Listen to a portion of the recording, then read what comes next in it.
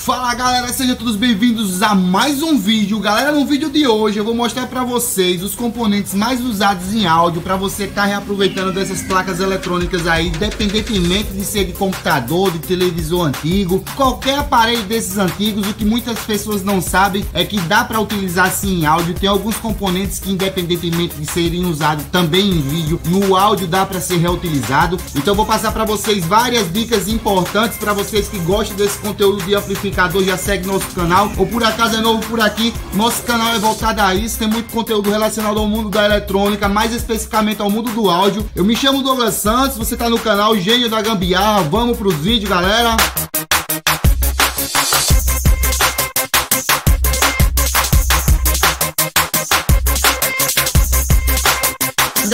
Fazer um vídeo aqui bem prático, então nada melhor do que a gente colocar a mão na massa. E eu vou colocar também um circuito para a gente analisar e entender no circuito quais são os componentes que realmente a gente tem que comprar porque eu já vi muitas perguntas, eu participo de muitos grupos de eletrônica e acaba, eu vejo que as pessoas têm muita dificuldade de encontrar alguns componentes que são muito simples, que você encontra em várias placas, vários aparelhos. As pessoas não têm o conhecimento de que, um, por exemplo, uma placa de TV aqui como essa, você pode tirar componentes sim para a parte do áudio.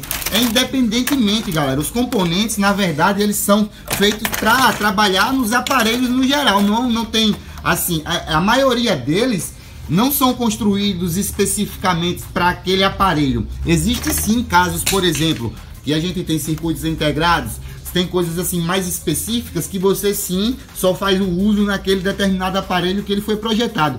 Mas boa parte desses componentes mais discretos assim, que por exemplo capacitores, resistores, transistores, alguns indutores, a gente dá sim para fazer esse reaproveitamento. Por exemplo, esses componentes assim, que você já pode fazer o uso diretamente nos circuitos que a gente mais usa, você não precisa enviar para uma empresa para ele ser desmontado. Aqui você já faz o teste apenas. Por exemplo, aqui a gente tem dois transistores aqui, é, transistores bem usados, são BD135, BD136.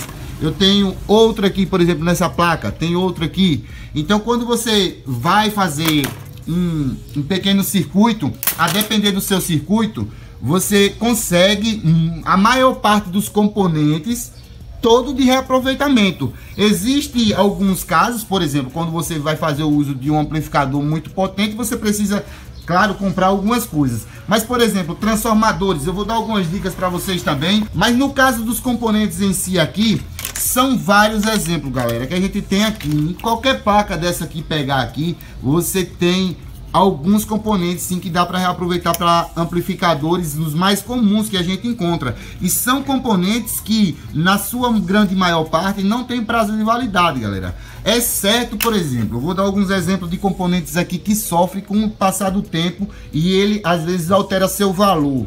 Mas não quer dizer que dentro daquela escala dele de validade ele não vai funcionar ou até mesmo se passar. Ele funciona também então, por exemplo, o caso desses são esses capacitores eletrolíticos. Eles trabalham com uma base de um óleo dentro que com o passar do tempo e o uso dele, ele acaba secando. Mas a maior parte dos os componentes não tem esse tipo de produto internamente, então ele não sofre.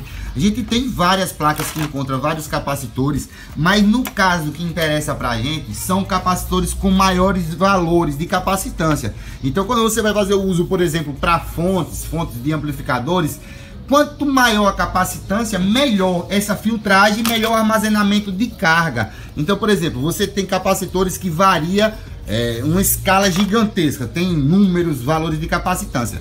Mas digamos que a partir de mil microfarads são valores interessantes para se usar em fontes. Então, quando você se depara com placas que têm valores irrisórios, não são interessantes. O que seria valores irrisórios? Por exemplo, aqui, aqui a gente tem uma placa de de fonte de fonte ATX de PC, a gente tem dois capacitores grandes aqui, mas apesar deles serem grandes, eles não têm um valor considerável de capacitância. Então você pode às vezes fazer associações de vários para você conseguir determinados valores, porque o que ele tem de interessante aqui é a, o isolamento dele. Ele tem aqui um isolamento de 200 volts, mas a sua capacitância tem 470. No caso, se ele fosse 4700, como a gente tem muitos outros aparelhos que fazem uso assim dessas capacitâncias acima de mil, esses seriam capacitores adequados para, por exemplo, fazer uma fonte simétrica para você colocar em um amplificador. Você, eu vou colocar esse card aí para você no final aprender, se você não sabe o que é isso, do que eu estou falando, você vai aprender a fazer esses tipos de fonte aí. A gente já tem alguns vídeos também falando sobre placas, circuitos. Então você pega uma placa desse tipo aqui, uma placa bem antigona mesmo aqui. Esse tipo de placa, eu particularmente, eu gosto muito, porque, veja só, você consegue reaproveitar vários resistores, então tem vários valores interessantes que dentro das escalas dos amplificadores que a gente conhece, são bem interessantes esses valores que nessas placas antigas que tem. Então você consegue encontrar, sim, vários componentes. Se você for fazer aqui uma, digamos, uma seleção dos que mais a gente usa, digamos que você 30 40% desses componentes você consegue talvez recuperar e aplicar ele na prática. Alguns casos extremos, como por exemplo isso aqui. Isso aqui é um cristal. Um cristal de quartzo. Eu vou ver se eu consigo quebrar ele aqui. Para vocês vejam só, galera, como é material internamente. Ele é como se fosse um vidrinho. Isso é realmente é um cristal mesmo. Esses aparelhos mais antigos tinham esse tipo de cristal bem avantajado assim. Hoje em dia você encontra os mesmos cristais, só que em tamanhos bem pequenos. Esse tipo de componente aí, você não consegue aplicar ele em outros projetos, a não ser essas coisas mesmo assim que eles já estão pré-estabelecidos, os seus valores. No caso de circuitos integrados, alguns componentes que são projetados especificamente para esses aparelhos. Então esses assim você não tem como você fazer o, digamos, o reaproveitamento de uma forma bem prática, mas você não se prende só exatamente a circuitos integrados. Você tem várias outras coisas, capacitores de vários modelos como os poliestes, que são caros esses capacitores aqui. Alguns resistores de potência também têm valores interessantes e, e também são caros esses resistores. Dá para a gente aproveitar muitos aqui para amplificadores de áudio. E esses aqui galera sempre são é, é, bem interessante você guardar esse tipo de componente porque cedo ou tarde você vai acabar utilizando. Então o que for de coisa de potência você tem que entender ele tem um valor agregado maior é diferentemente de um resistor pequeno um resistor pequeno como esse aqui esses pequenininhos assim é uma coisa. Outro, esse aqui já passa, por exemplo, de um real. Esse aqui já é uma coisinha de 10 centavos, 5 centavos. Mas imagine, você tira 10 numa placa, de um real já é 10 reais. Você já evitou de gastar 10 reais. Sem contar na aplicabilidade dele, que às vezes você não encontra na loja para vender. Muitas das regiões aqui do nosso país tem muita dificuldade, carência de você encontrar componentes. Quando você entender todo o contexto, que é muito importante a gente fazer esse trabalho aqui, Imagine para a empresa automotiva, para a empresa que as empresas que trabalham com ferro, se não reaproveitassem carros velhos. O quanto de material que ia ser preciso tirar da natureza se a gente não reaproveitasse latinha de alumínio, se a gente não aproveitasse, reaproveitasse o alumínio, quanto de material teria que sair da terra para suprir todo esse desenvolvimento da humanidade? Então, é um assunto muito importante que independentemente de quando você está assistindo esse vídeo, esse vídeo vai estar tá sempre atual, porque eu tenho certeza que não vai ser tão cedo que vai acabar esse tipo de material aqui. É um problema mundial, não é um problema só do nosso país que a gente está enfrentando esse tipo de material eletrônico. Então a gente tem a responsabilidade sim. Não é porque você joga o aparelho ali no lixo que você acabou com o problema não. Isso aí vai desencadear todo um processo e a depender de onde ele vai parar, vai causar sim uma contaminação muito grave. Então galera, circuito em mãos, alguns componentes separados aqui. Todos esses componentes foram tirados de placas de computadores, de placa de TV, de vários aparelhos, inclusive até de ventilador. Eu vou passar aqui, galera, essas dicas. Isso aqui é um vídeo que está sempre atual, então com certeza vai ajudar muito você aí, muito atento. Esse circuito é um circuito que eu uso ele já há algum tempo em alguns, algumas pequenas e grandes aplicações dá para você fazer grandes mudanças nele. E por exemplo aqui no caso dele ele tem é, essa quantidade de transistores mas se por exemplo você quiser só usar um par de transistores tem como usar. E de todos esses componentes aqui a gente observando alguns deles que se repetem por várias vezes que são o caso dos transistores de potência eles você é obrigado a comprar. Mas se você vai fazer o uso de um pequeno amplificador, aonde vai usar apenas um par, dois pares, os quais você já tem, esses outros componentes, por exemplo, aqui, que são os componentes de baixa potência, eu vou colocar aqui a, a folha cortada até aqui todos esses componentes aqui você encontra muito fácil. Esses componentes você pode acabar reaproveitando sim das placas. Eu tenho aqui vários exemplos de componentes os quais nos interessa. Então eu separei um grupo aqui de semicondutores, os quais envolve circuitos integrados, transistores, diodos, ponte de diodo, tudo que for semicondutor esse bloco é muito usado e ele se divide em vários blocos separados. Então, eu vou chamar de semicondutores porque engloba todos esses componentes que usam germânio, usam silício na construção dele para fazer essa, essa função aí. E tem o grupo aqui, a gente vai falar sobre um pouco dos capacitores que dá para você também fazer o reaproveitamento. Eu separei alguns poucos exemplos aqui, mas que são valores que nos interessa muito. Quanto maior esse número da capacitância aqui, você tem maior filtro e maior armazenamento de carga desse, desse camarada. A validade dele, como ele tem esse líquido internamente, ele varia a capacitância de acordo com o uso excessivo dele, de acordo com muitos anos, mas a gente tem que entender uma coisa.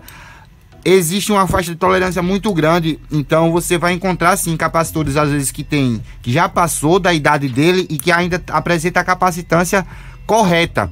Formas de medir para você aferir a capacitância, exatamente a capacitância, você precisa de um capacímetro.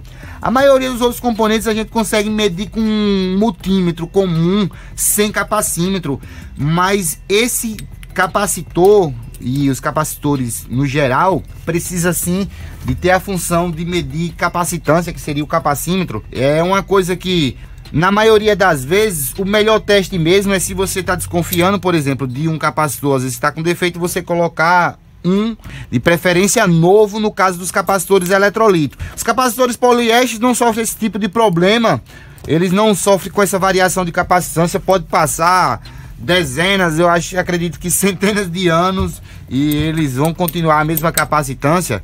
Os formatos são os mais diversos possíveis, você também vai encontrar vários em vários aparelhos diferentes e, e, inclusive não tem como você nem dizer assim, por exemplo, ah, esse aqui foi de tal aparelho, esse foi de tal aparelho. Porque, galera, isso é a aplicabilidade dele, não é atrelada ao tipo de aparelho e sim a função do capacitor em si. Então, tem capacitores que você vai estar tá encontrando lá numa TV que vai estar tá assim, um som também ou até mesmo numa fonte de computador. Você vai encontrar o mesmo componente em vários tipos de aparelho diferentes. Então não se prende à finalidade do aparelho, é, o, o aparelho em si, e sim a aplicabilidade da função do componente em si. Você tem vários modelos de resistores que como a gente tratou no início, se for de potência, tudo que é de potência é caro, galera tudo que é de potência é interessante você guardar e dentro da escala de uso que você mais usa aí, tem alguns números que cedo ou tarde você vai acabar usando todos que você tem. Então é muito importante guardá-los. Eu tenho alguns exemplos aqui de resistores de potência e tem alguns e tem algum tem um exemplo aqui de um, um de pequena potência. É, é interessante você ter a, a base de que você pode encontrar o mesmo resistor com o mesmo valor de ohms desse tamanho ou desse tamanho. Você pode encontrar vários modelos com o mesmo valor em ohms. O que muda o tamanho dele é os watts, é o que ele consegue passar de corrente aqui.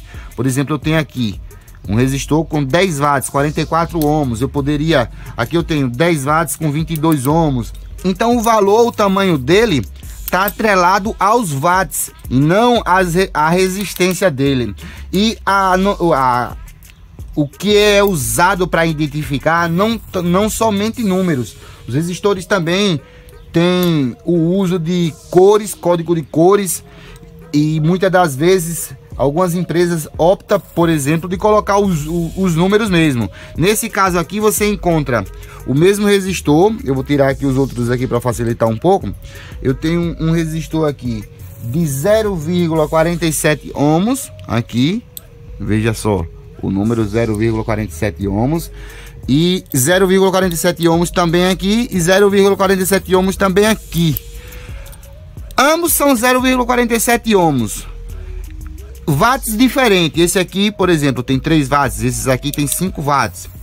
E dois exemplos de identificação. Um com números, os algoritmos mesmo, e esse aqui código de cores.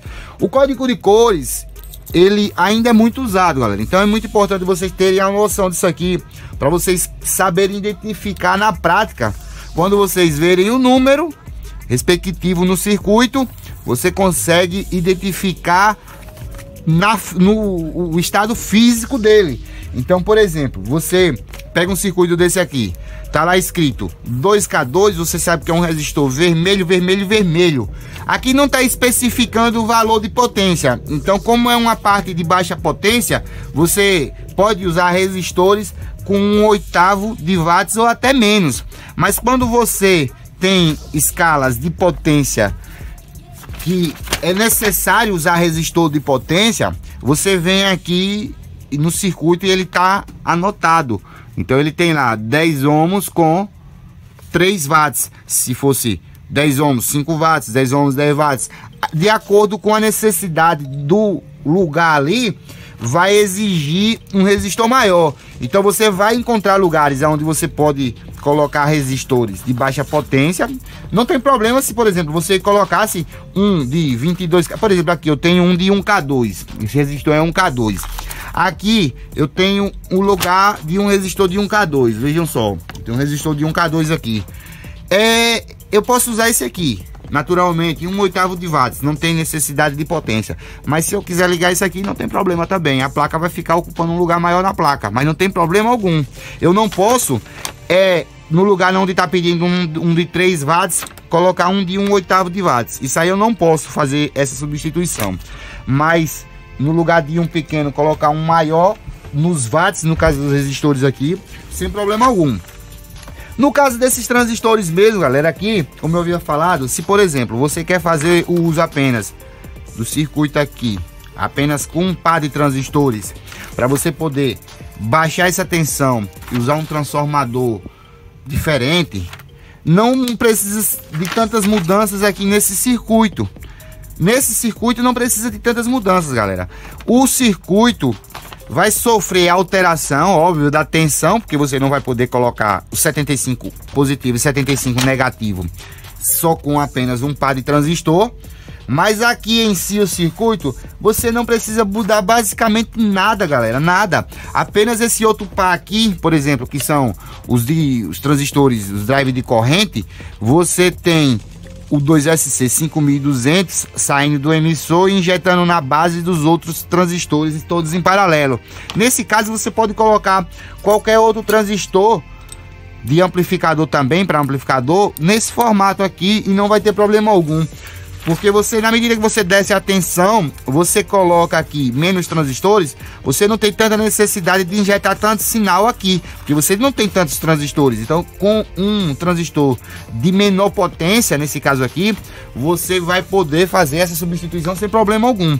Aqui a gente nota o que? Pequenos capacitores, a gente tem um capacitor aqui de 180 PF. Então, quando você tem um número aqui, com esse símbolo aqui, na escala de PF ou de NF, que seria nanofarad, você tem a aplicação dele na prática bem pequeno. Você pode acontecer alguma, alguns casos de, por exemplo, ele ter, exemplo aqui, aqui a gente tem um capacitor, o um capacitor de filtro aqui que vai para o terra, 100 nanofarads aqui, ele tem 100, 100 nanofarads. Só que esse capacitor ele tem uma tensão maior. Então você pode encontrar 100 nanofarads assim, ou você pode encontrar 100 nanofarads assim. É basicamente como esses capacitores. Você pode encontrar um capacitor grande com pouca capacitância e muita tensão, ou um capacitor grande com muita capacitância e baixa tensão. Esse, essa relação entre capacitância e tensão vai fazer a mudança do tamanho do, do componente. Então você tem essa correlação entre as duas coisas. E nesses casos aqui você tem que identificar quanto de tensão o seu circuito vai trabalhar para você conseguir fazer essa alteração aqui, que nesse caso aqui não está especificando quanto de tensão num capacitor desse é exigido. Mas, por exemplo, aqui, 400 volts, 270 volts, 250 volts, eu já é mais que o suficiente para essa topologia aqui. Se você vai fazer o uso de um um transformador bem pequeno que não atinge, claro, essa tensão, digamos que seu transformador vai usar aí do transformador saindo 35 mais 35, depois de retificado e filtrado, vai para 45 positivo, 45 negativo com um par de transistor. Seu capacitor aqui não precisa passar muito de 100 não. De 100 volts em diante aqui ele já vai estar tá mais que suficiente. Então, tem alterações assim que são simples, que não precisa de tanta é, coisa para você mudar esse circuito. Com esse mesmo circuito aqui, você vai conseguir colocar apenas um par de transistor, ou dois pares, ou três pares, e conseguir usar esse mesmo circuito com vários valores, vários transformadores diferentes. É muito importante a gente ter essa noção, galera, porque você não sabe quando você vai usar essas dicas aí, mas cedo ou tarde você pode precisar e você vai estar com aquilo já em mente de que não se prender só necessariamente aquilo que o circuito está dizendo. Pequenas alterações aí você vai tirar de letra, bem fácil de fazer. Tem alguns componentes, circuitos integrados que você consegue ter todo o amplificador internamente dentro dele. Então você só faz o acréscimo de alguns capacitores, alguns resistores ali externamente. Então, alguns circuitos integrados, eu deixo a dica aqui. Por exemplo, você vai pegar o número dele que está escrito aqui e escrever lá no Google e colocar datasheet. Você vai ter a informação de qual a função daquele circuito integrado. Então, muitas das vezes você pode encontrar um circuito integrado nesse formato que não é necessariamente para áudio e pode ser sim para áudio. Se for para áudio áudio, você vai fazer a utilização daquele circuito que é já destinado pelo o, fabricante já propõe aquele circuito para você produzir um amplificador e você vai fazer um amplificador com acréscimo de alguns poucos componentes. Existem grandes outros modelos assim, vários modelos de circuitos integrados assim que trazem, você vê que só tem alguns componentes assim na parte por fora, que não dá para colocar internamente, mas que na verdade o amplificador em si está todo aqui dentro. Já tem todos os transistores, tudo que é necessário para fazer o amplificador.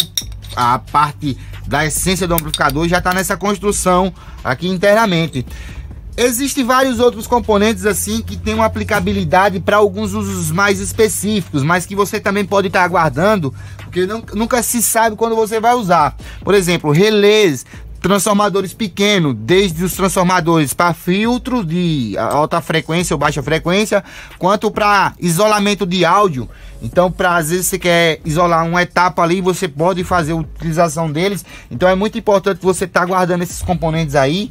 Diodos, tem vários modelos de diodo. Você pode fazer o uso também é, de acordo com a necessidade do seu amplificador. A, você pode ter o uso dele com diodos, diodo comum para fazer a retificação, quanto diodos N. Os diodos N também muito usado para você fazer o controle de tensão, pequenas fontes ou até mesmo fonte de potência, de acordo com os componentes que você vai usar com ele. Ele já tem pré-definido a tensão no corpo dele. Ponte de diodo, que seria a junção de quatro diodo comum internamente. Então, são vários modelos de ponte de diodo que, a depender do valor da tensão e da corrente aqui, que é exigida do seu amplificador, você vai estar estabelecendo qual ponto de diodo seria adequado para o seu uso. Mas é bom você saber uma coisa: a maioria dessas pontes de diodo encontradas em fonte chaveada, em sons residenciais, elas são muito usadas também em amplificadores de potência e foge às vezes do conhecimento de vocês que estão na área aí, mas esses camaradas aqui eles suportam muita corrente, chega da ordem de 25 amperes, então a depender do número dele você vai encontrar capacidade de manejamento de corrente bem alta. Você pode fazer o uso dessa chapa hum, de alumínio aqui no fundo, ou algum metal, para conduzir o calor, a temperatura e dissipar melhor para o ambiente e assim você conseguir passar muita corrente mesmo nesses camaradas. São vários formatos, vários modelos, a depender do seu amplificador. Uma dessa daqui é mais que o suficiente, ou você pode fazer associações delas em paralelo. Alguns componentes assim que são bem usados também para amplificadores e alguns amigos deles aqui, primos que parecem, mas não são. Nesse caso aqui, eu vou apresentar para vocês aqui trimpotes. Eu tenho alguns modelos de trimpotes que eles são parentes aqui dos dos potenciômetros, que seriam os camaradas de, usados para ajuste de volume, esses aqui são exatamente a mesma coisa. Ele só muda só o formato e a aplicabilidade dele, que para você fazer a, construção de um circuito impresso, você não vai usar um potenciômetro, você pode usar um trimpote e fazer o ajuste. Eu tenho, eu tenho alguns exemplos aqui, por exemplo, no circuito. Esse símbolo aqui seria o símbolo do trimpote. Então eu tenho dois trimpotes aqui que você pode usar qualquer um desses trimpotes, qualquer um desses formatos aqui não tem problema. Você pode se deparar também com esse formato aqui e você se confundir. Na verdade, isso aqui não é um trimpote, Trata-se de um capacitor variável. É um capacitor que ele tem a sua capacitância ajustável de acordo com a necessidade.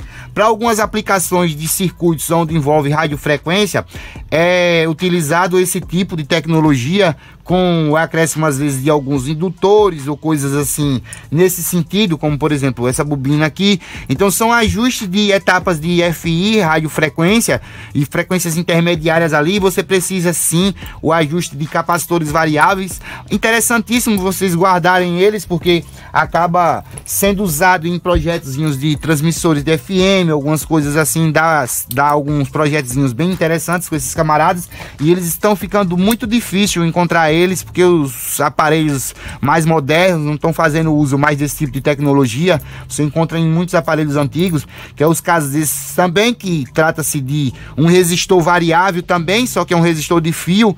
Ele aqui internamente, eu vou deixar a foto para auxiliar vocês aí. Internamente ele tem várias camadinhas de fio que a depender do ajuste que você faz aqui, esse valor da resistência dele vai variando. Então, como ele é para uma etapa mais de potência, você não costuma ver ele em qualquer aparelho, mas os aparelhos antigos faziam uso muito desse tipo de resistor variável também. Capacitores cerâmicos, poliésteres, eletrolíticos e variáveis. Resistores também. Os fixos, a gente tem vários modelos. Tem os variáveis também por ajuste aqui manual e tem por ajuste de luz.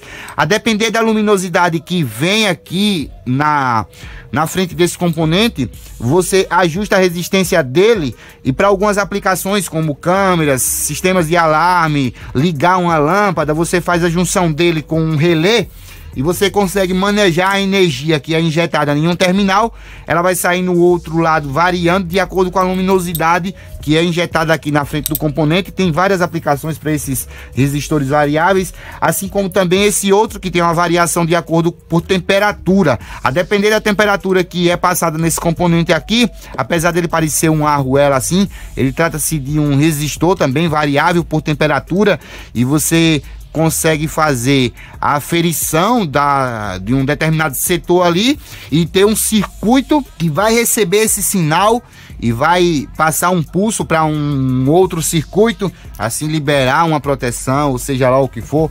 São várias aplicações para esses camaradas aí também. Alguns outros componentes também vocês podem encontrar e muitas das vezes não terem a ideia, por exemplo, aqui eu vou passar aqui para vocês alguns parecem, mas não são a mesma coisa. Eu tenho um exemplo de três componentes diferentes aqui, mas por mais que eles tenham uma similaridade, mas não são a mesma coisa. Aqui eu tenho um diodo de germânio, aqui eu tenho um centelhador a gás e aqui eu tenho uma lâmpada de neon. Cada um tem a sua aplicabilidade. É, dá um vídeo específico para cada um, mas esse aqui eu vou dar uma dica para vocês que é bem interessante. Ele é muito usado naquelas canetas para você ver a aferição da chave se é o vivo ou se, no, ou se é o neutro. Então aqui você consegue com essa lâmpada de neon, você colocando aqui você consegue identificar qual seria a fase e qual seria o neutro aqui da sua residência, da sua tomada, fácil, com acréscimo de um resistor para você não ter riscos de choque, diminuir um pouco essa tensão. Nesse caso aqui eu estou colocando direto, não estou sentindo nada, estou todo isolado do chão. Você não precisa fazer aterramento com o chão, ela esse gás aqui dentro, que é o gás neon, faz essa condutividade e esse sinal luminoso. Então é uma aplicação bem interessante para você fazer essa aferição, saber qual é o, o, o, terminal ali, né, que é correspondente ao neutro, correspondente ao vivo. Então, se a gente pega um circuito desse aqui, a gente consegue, por exemplo, aqui, tirar todos esses componentes aqui. A outra grande parte aqui, que é referente à maioria, você consegue encontrar todo, galera, todo, todo em sucata, literalmente sucata. Uma sucata essa que você vai voltar ela para o mercado, vai dar uma vida de novo. É como se você morresse e você transplantasse seus órgãos, né, para outras pessoas e de alguma forma você continuar ainda vivo ainda ali em algumas pessoas, né? Você consegue tirar capacitores fácil, consegue tirar todos esses resistores, os capacitores eletrolíticos, transistores de baixa potência, você consegue tirar todos esses trimpotes, assim como também os transistores de potências médias e alta potência em alguns componentes, em alguns aparelhos você também encontra, por exemplo, fontes chaveadas de computadores, existem alguns, alguns modelos ali que você encontra alguns transistores desse assim, nesse formato, ou alguns televisores antigos, monitores de computadores antigos, que a depender do valor dele, da medição que você vai ter ali dele, eu já fiz alguns testes, se comporta muito bem para amplificadores também. Então é muito interessante fazer esse reaproveitamento desse tipo de material que acaba, foge sim do conhecimento aí.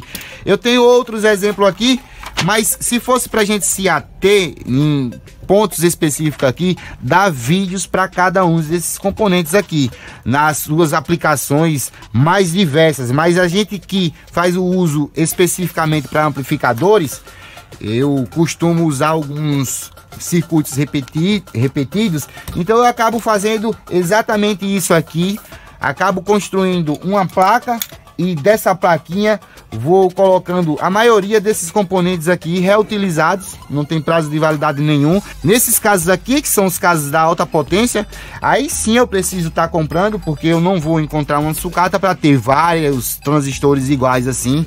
Mas no mais a gente consegue sim com muita facilidade. Para você que chegou até aqui no final, eu vou deixar um bônus aqui. Se você quiser esse circuito aqui todo editado para um transformador específico que você tenha. Basta você ir só nesse primeiro comentário fixado e pegar esse número no meu WhatsApp aí, entre em contato que a gente vai conversar. Você manda para lá suas especificações e a gente vai fazer esse circuitozinho aí sem nenhum acréscimo. Galera, vou ficando por aqui. Esse foi o vídeo de hoje. Fica todos com Deus. Aquele abraço. Valeu, galera.